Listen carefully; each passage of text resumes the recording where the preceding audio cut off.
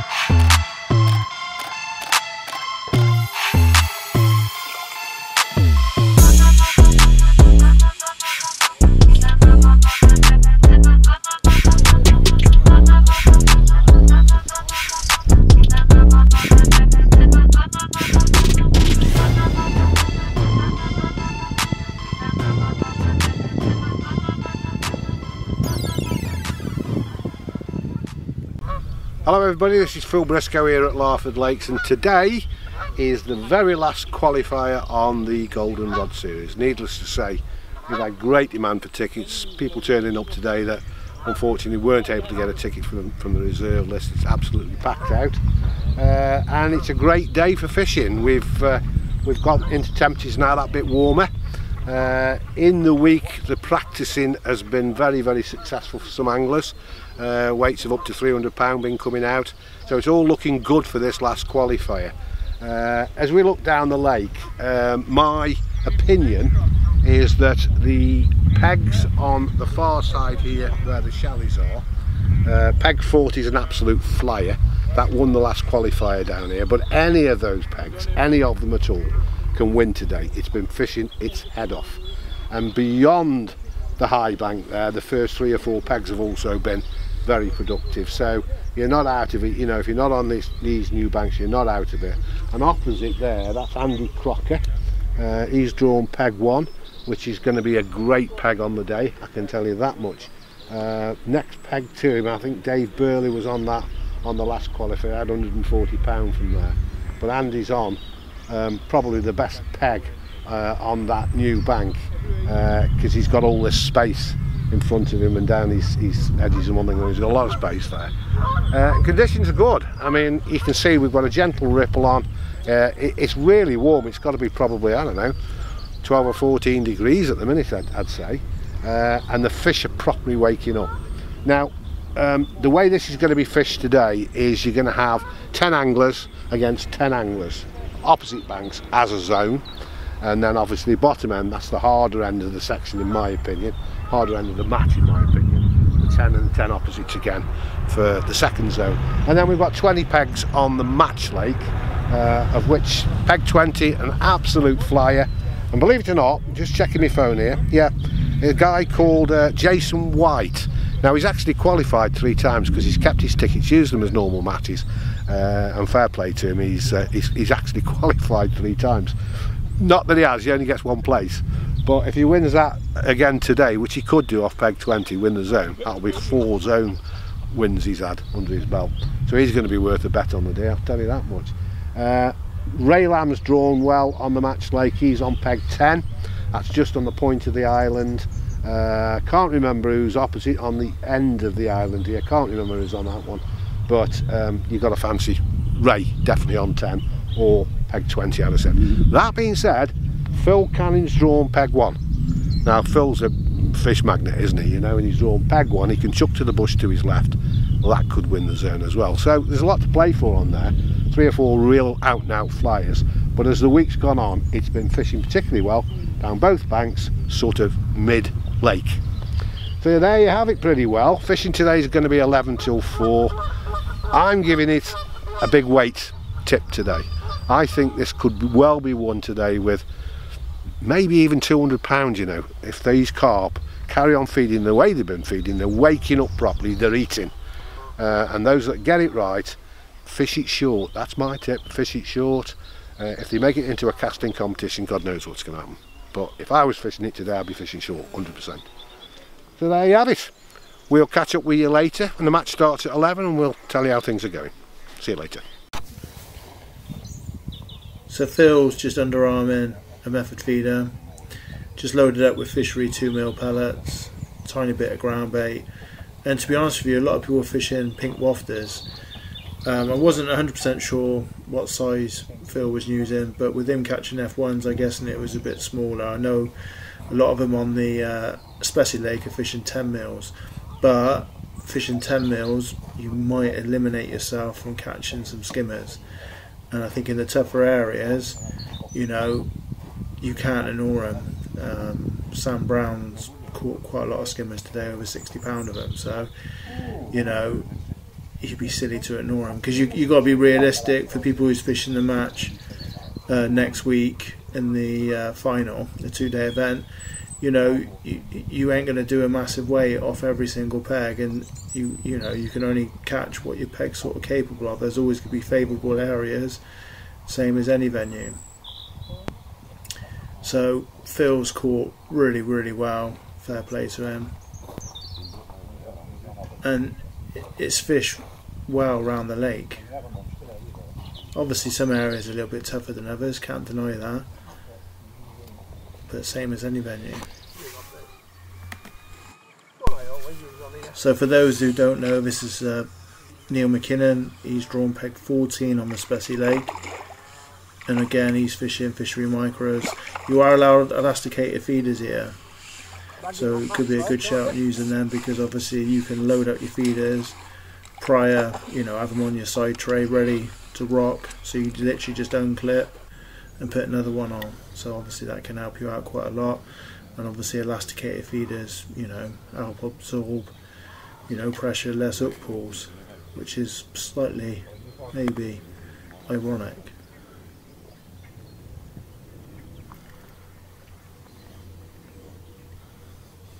As in, that's just pulled out and he's still got it. So fair play. When your luck's in, your luck's in. That happened to me at Airscombe, so I can't say nothing. It's got a beautiful rainbow. Hope you can see it. Phil Cannon is absolutely emptying it on peg one. At least it stopped raining.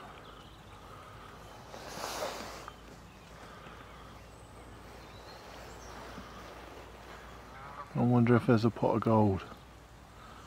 If you like the video, please subscribe to my channel.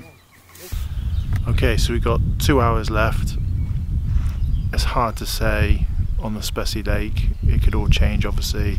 I would say Nigel Jeffrey on peg 21 is winning the zone to our left. And it's hard. I'd probably say Matt Grindle on peg 40. So to our right is winning. Um, the other zone. And then Phil Cannon was like a train unless it's changed and he stopped catching then I'd imagine he's going to win that zone. So we just flick you round. So behind Crumpy Sam Brown. Sam's got 26 skimmers no carp yet and Jace is in different section, he's just caught a few less.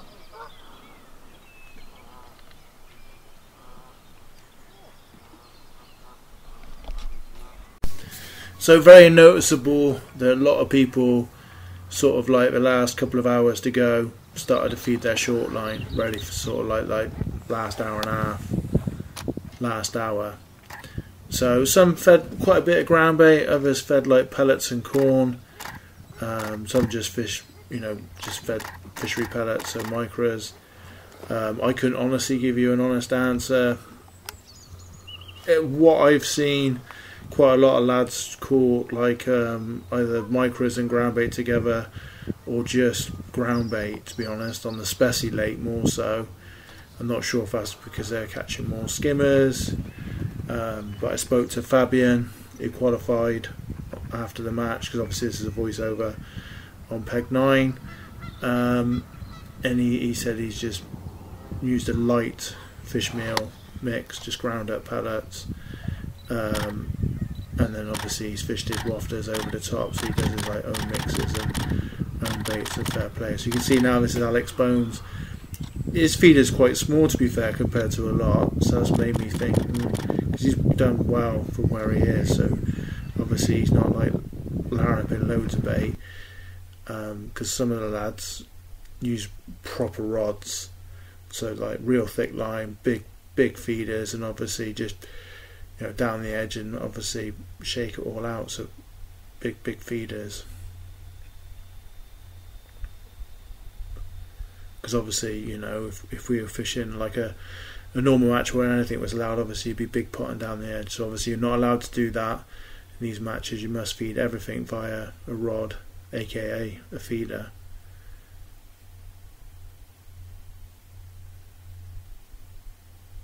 Some of the lads said that they fed like corn and pellets and hauls short and down the edge, and it just didn't didn't work for them. And they so this was Nigel Jeffrey. Hope I pronounced your name right. Um, so fair play, he's done well. He's won the special eight with hundred and twenty-one pound. All the weights are at the end. So if you want to analyse the weights, I've got every single weight board. So cheers, Phil, for letting me take them, as in Phil Briscoe. Um, so obviously that would be if you're fishing the final next weekend with two there, then it'd definitely be worth looking at them weight boards. Um, my advice, whoever's fishing Larford at the moment, definitely sort of these big wafters, pink, real bright sort of look bait to stand out. And also, it's noticeable that people don't leave it in there very long. So a lot of anglers are only maybe leaving it up to seven minutes and coming back in. Um, and some of the anglers are fishing short, leave it even less, five minutes. Um, that's just my observation. Again, I could have it wrong, so please don't hate me if I'm giving you wrong information. But obviously, watch 60 anglers today, and it was noticeable that if people, if you weren't, you, you couldn't just, seemed you just couldn't chuck it and just leave it, and hope it just rather get dragged in. It's definitely a case of uh, in and out you're seeing, especially fishing short. That's what a lot of anglers were doing. I regretted doing it.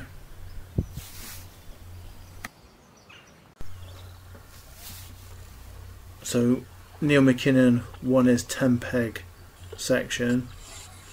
So he won his bank. And he was third in his own with 50 odd pound. Again, all the weights are at the end.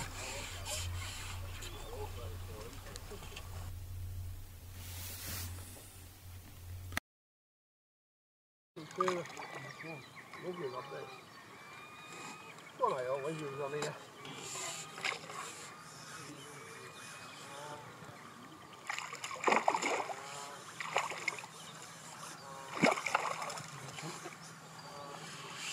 Bagging up that side, can't we?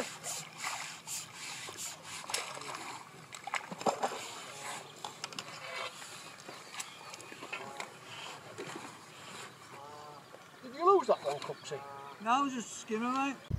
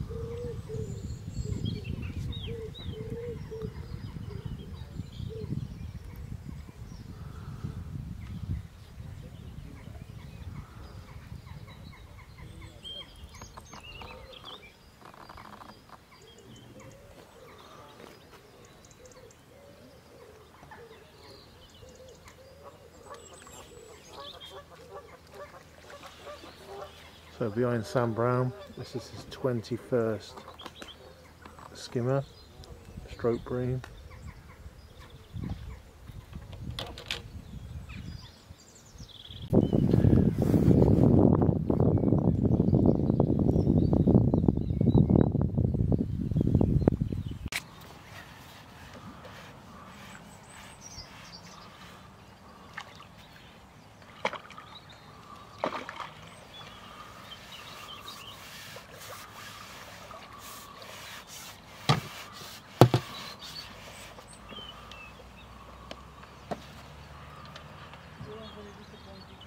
Jace, will you turn it round? That's it, right round.